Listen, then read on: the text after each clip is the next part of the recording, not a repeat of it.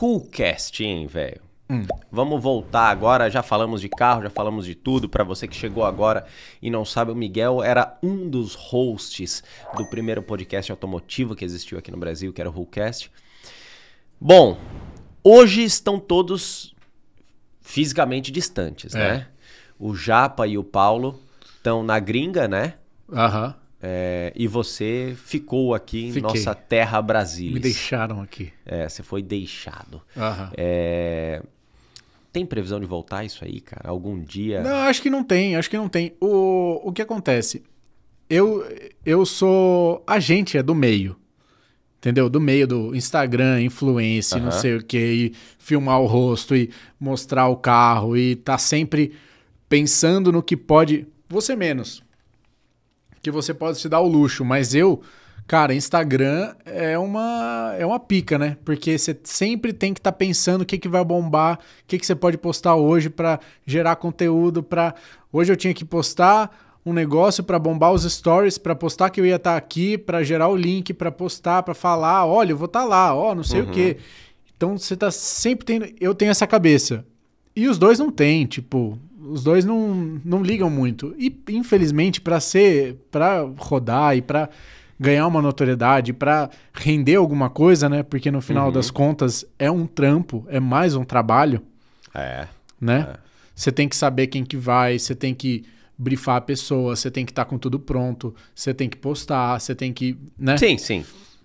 Pra isso tudo acontecer, existe um funcionário só dedicado pro podcast, sabia? Pois é. Bom, o John, vai ser ele. Aham. né? Então ele fica só responsável por essa questão de gestão dos convidados, chamar, mandar mensagem, mandar o endereço, confirmar se tá Sim, tudo certo. animal. Que é um bagulho que, né, tipo assim, que é um trampo pequeno. E eu preciso estar aqui Exato. toda quarta-feira, cara. Cansei Não, de pagar. e você tem toda a estrutura aqui da Blue Space, Sim, sim, fantástica. Tirando o custo, cara, cansei de pagar passagem pra voltar da onde eu estava. Aham. Tava na Colômbia, voltei pra gravar Meu podcast. Deus. Não só pra podcast, mas né, o Pedrão tá ligado. Volto da Colômbia esses dias, paguei uma fortuna lá porque me sacanearam no meu voo de volta aqui, tive que Mentira. É, pô, paguei cinco conto numa passagem de Manaus pra cá porque tinha Aquele tinha cinco conto que pra você, você tava ali sobrando, né? Na- É osso, velho. Dá, dá, tem- dá pra comprar velho. peça pra Dá caramba. pra comprar Pra peça. fazer aqui, porque, cara, uma vez que eu me comprometo com algo, Lógico. eu me comprometo por algo e não tem jeito. Você sabe como é que é. Lógico. Evidentemente que quem sabe em algum momento, é,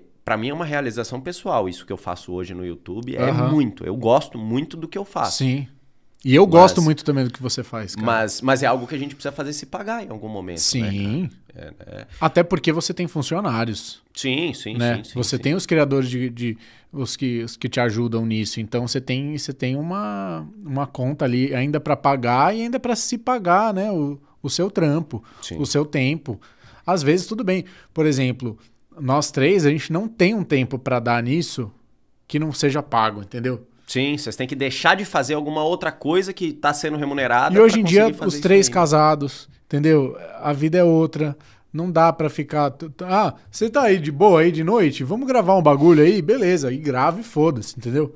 Não, pra isso as esposas têm que estar. tipo assim, não pode ligar a televisão, não pode fazer um barulho, porque a Sim. gente tá gravando nosso podcast. Ou É, vir cara. aqui pra Blue Space e ter um custo mensal, querendo ou não, Sim, assim, sim, sim, sim. Pra alugar o local, pra ter toda essa estrutura, que é animal. Se fosse assim na nossa época, cara, valia super a pena a gente vir pra cá e gravar e, e eu acho que teria bombado. Eu até, acho também, cara. até porque eu já conhecia muita gente, sabe? Muita eu, gente na época, influente. lembra que eu peguei e falei pra vocês? Eu falei, galera, eu já tinha oficina lá na Moca. Lógico, lembra? sim. E eu falei, irmão, eu tenho um espaço aqui em cima. E a que hoje, pra um mim, estúdio. mano, eu tô do lado ali, velho. Imagina. Ia ser animal. Só que é isso, eu acho que eles tinham medo de investir e não, não animar nessa história de, de mostrar a cara, de ficar famoso, Sim. Entre várias aspas. Mas, pô, se, se estourasse, imagina. É. A gente ia realmente estar famoso no meio É. dos carros. Embora que ser famoso no meio dos carros é. É uma. É, exato. Exato. Mas, mas a gente é, né? Assim, você mais, eu um pouquinho, mas enfim.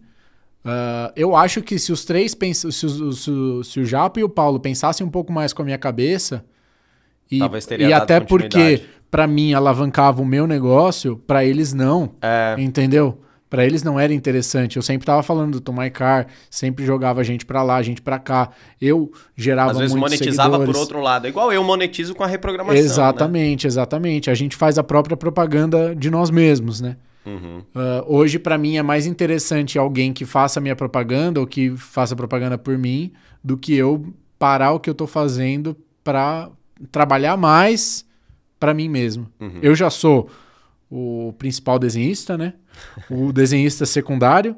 Eu sou o CEO, CFO, é, fundador. Eu sou o cara do café. Eu sou o, o faxineiro, o RH.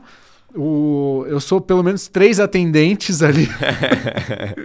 que eu me desmembro em um milhão. E aí, para fazer mais isso, adoraria. Sério, adoraria. E o tanto que pelo menos tem umas 20, 40 pessoas, sei lá quantas pessoas, que sempre lembram do Rucast, cara. Hoje eu postei que eu vim aqui, falei assim: ah, que podcast vocês acham que é? Aí todo mundo, cara, a volta do Rucast. Volta... Cara, isso aquece o coração de um jeito, tá ligado? Muito legal, né, cara? Aí eu, quanto tempo que a gente parou de fazer, cara? Quanto tempo? É. Desde o começo da pandemia. Você imagine, os caras ainda lembram, ainda ouvem. Teve. Cara, ano passado que mostrou aquela conta lá do Spotify, mostrando ah, o que, que você mais ouviu. Pô, uns três ou quatro, o primeiro lugar que o, pessoal, o cara mais ouviu era o Rucast. Eu acredito. Eu acredito. Você imagina isso.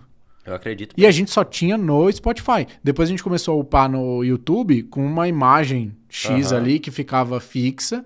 Sim. E sim. fazia. Mas era é, é muito, muito, muito bacana ali, cara. Eu achei espetacular.